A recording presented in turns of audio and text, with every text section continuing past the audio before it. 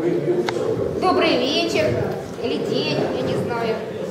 Мы рады сегодня поздравить вас с замечательным праздником, Днем Победы. Нет слов, чтобы выразить нашу благодарность людям, которые воевали днем и ночью, в тяжелых, в тяжелейших условиях, отдавали свои жизни для того, чтобы мы сегодня могли вот так свободно говорить, смеяться, улыбаться, любить, петь. И поэтому всю нашу благодарность мы сегодня выразим в песнях и в стихах. И начнет наш концерт ветеран Великой Отечественной войны. Человек, которого мы в клубе э, очень уважаем, ценим, любим. Это наш поэт Дантон Семенович Лабендик.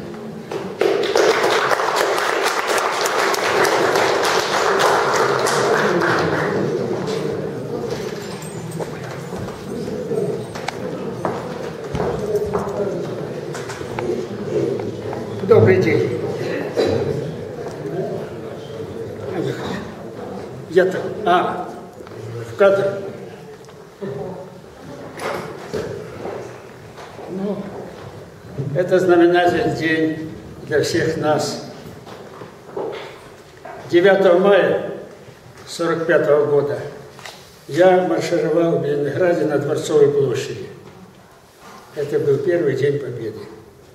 Сегодня по телевизору показывали Дворцовую площадь, Ленинград. Я поздравляю всех с этим праздником всенародным, желаю всем доброго здоровья и чтобы никогда не знали ужасов войны. Ну, стихи, как всегда, авторские. О, дорогие ветераны, в лихое время мы живем. Была страна, остались страны, жить тяжелее с каждым днем. Восединою убеленные, давно победы пробил час. Как вышло так, что побежденные живут намного лучше нас? И может лишь во сне присниться, что наш союз, как прежде, цел. Воздвигли новые границы, берем друг друга на прицел и забываем или не знаем ту нашу общую беду. А ветеранов вспоминаем на День Победы раз в году.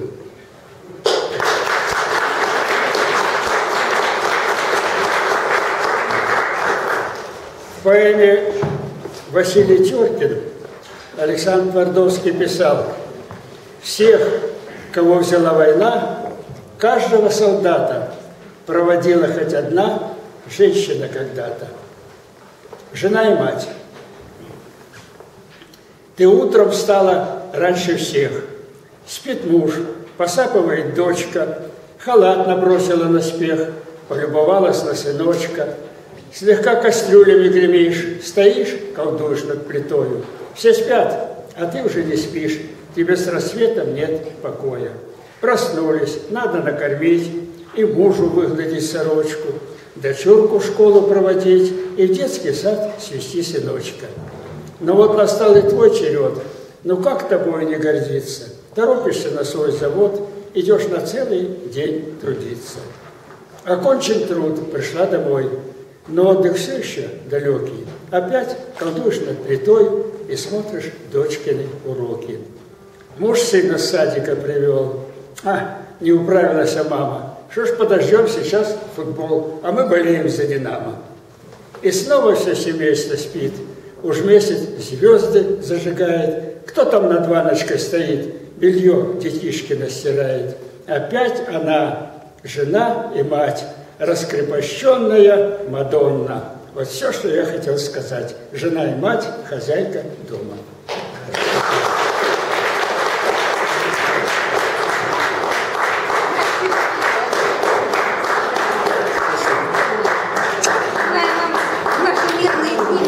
побольше. И чтобы к нам приходили и забывали все время. И чтобы вы никогда не знали, что такое война. Да.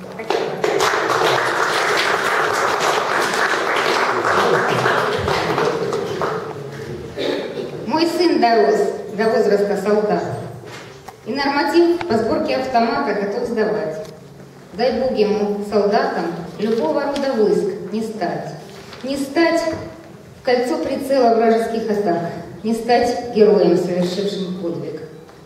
Не маменькин сынок, не где-то подле подола, только пусть не будет так, как в этих страшных фильмах о войне, где смерть всегда бесстрашна и нелепа, где боль коллег и недостаток хлеба. Да, это страх войны ожил во мне. Я ветеранам поклоняюсь сто крат.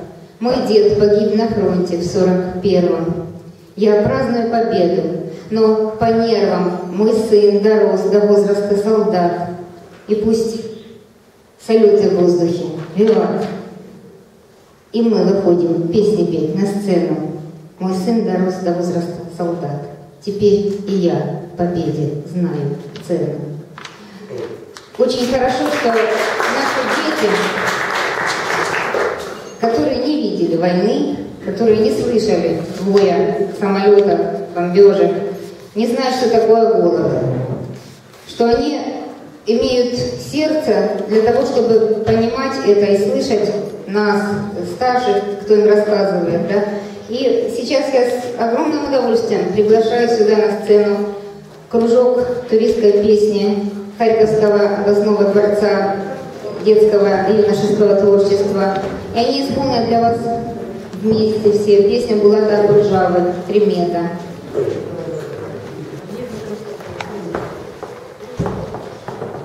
Ира.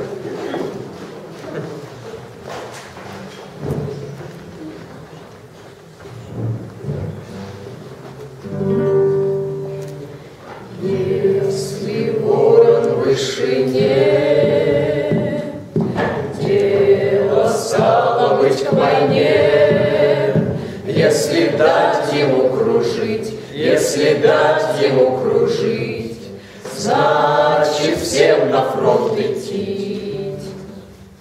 Чтобы не было войны, надо ворона убить, чтобы ворона убить, чтобы ворона убить, надо ружья зарядить.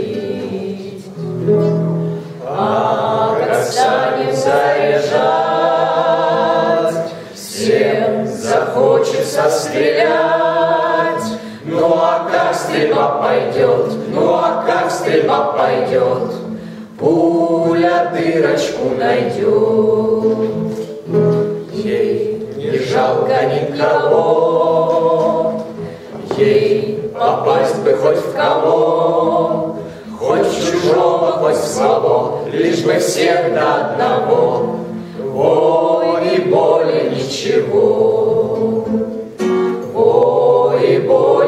encheu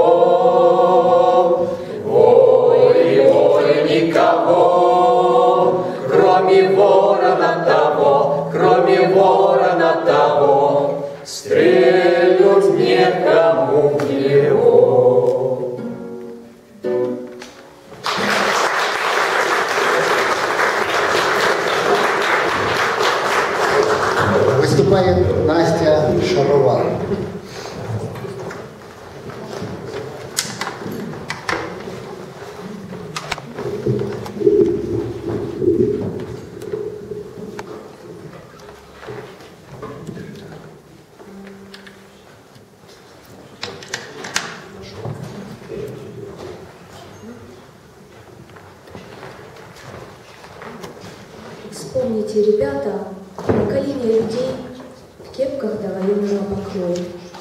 Нас они любили, за руку водили. С ними мы скандалили порой.